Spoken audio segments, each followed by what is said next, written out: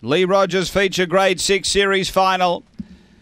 They're racing. And there's speed here from Rhinestone Teddy going quickly. Lonely Cowboy on its outside. Rhinestone Teddy and uh, Lonely Cowboy who headed it off. Behind those, Highbury Hustle up to third. A couple away. Next is Winnipeg Jack. Then Emily Nolan from Barman. Next is Minotaur and Dakota Far back at the end. It's Lonely Cowboy by two and a half. Rhinestone Teddy does the chasing. Then Highbury Hustle up to the turn. Lonely Cowboy the leader. Rhinestone Teddy running on. Lonely Cowboy. Rhinestone Teddy driving.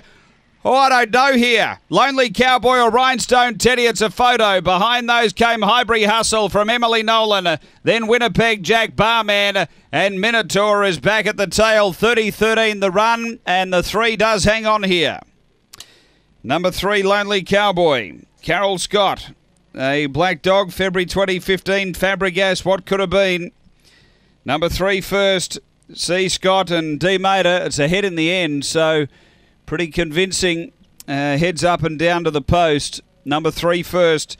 Two Rhinestone Teddy, Stuart Ellis, a white and black dog, September 2015, Paw Licking Pearls Bonnie.